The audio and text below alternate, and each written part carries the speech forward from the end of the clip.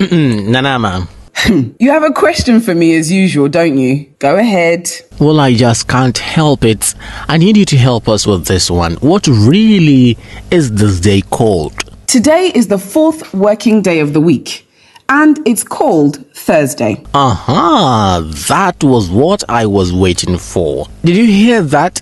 It's not Thursday, the word is Thursday. Thursday. People say Thursday? Oh, yes, I have heard that many times, even in the news. Wow. My dear learned listener, you can't be pronouncing it like the trotro mate who barely completed high school. You are educated to make an impact, so endeavor to speak right. Agreed? Thursday it is. Thursday and not Thursday. We have to go. So, what word are we learning today? The word we are learning today is a simple but sweet one.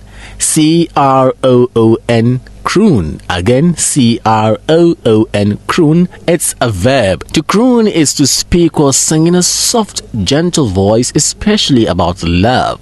For example, what a sight it was seeing Alice crooning to her newborn baby. Here's another example. I doubt Emmanuel Donko had any sleep last night. He spent the entire night crooning to his girlfriend. Haha, Emmanuel. Well, that's all we have for you. We are not out of content, just out of time. Don't forget that anytime you are speaking, make sure that you speak right.